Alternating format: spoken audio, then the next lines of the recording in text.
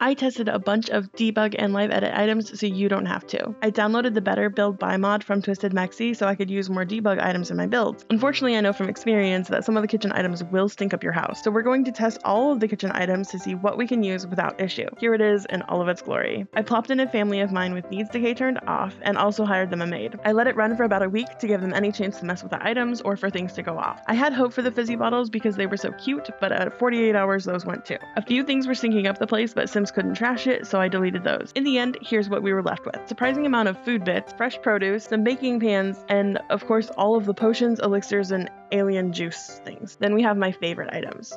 A bunch of cans, bottles, beakers, a bag of flour and sugar, cups of dog food, this little board from Snowy Escape, and these dishes. If you want to download it, this building will be on the gallery under my EA ID, Rumrizzle.